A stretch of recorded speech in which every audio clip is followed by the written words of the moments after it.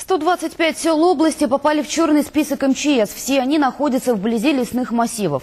И хотя пожароопасный сезон пока сдерживает дождливая погода, все службы уже в полной готовности. Репортаж Алексея Лощинина. Хорошего нет. Никому не, не, не нужен. Это водопровод есть, а у него во- воды тоже сколько лет нет. Пить нечего. Не то, чтобы пожар тушить. Прошлом году житель села Первомайская Виктор Родин заправлял пожарные машины вот из этой емкости. Огонь тогда окружил деревню и оборону держали на всех фронтах. Пожароопасный 2011 пока сдерживает дождливая погода. Но в МЧС уже подготовили тревожные списки. Более 100 населенных пунктов оказались в опасной зоне. Основные у нас как бы лесные зоны это Хвалынский район, Лусогорский район и, соответственно, Базарно-Карбулакский район. Вот как бы основные лесные массивы, где у нас расположены, и как бы наиболее сложная обстановка в случае лесных пожаров может сложиться именно там. Дежурство на наблюдательном пункте идет с утра и до вечера. В селе Черкасское, если что, лес выйдут тушить добровольные пожарные бригады. Сейчас такие отряды создаются повсеместно. Они приходят на помощь лесникам, которых с каждым годом становится все меньше. Сейчас у нас с кадрами очень большая проблема.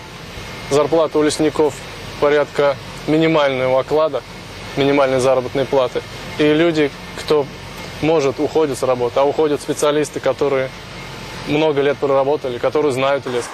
В этом году регион получил новые пожарные машины и оборудование. Но, как в таких случаях бывает, хватило не всем. По-прежнему в отдаленных поселках единственная надежда на старенькую пожарную технику. Проблемы одни вот тут с бензином. С бензином, а что с бензином? Да, ну, денег бывает нет в кассе у нас. А больше где взять?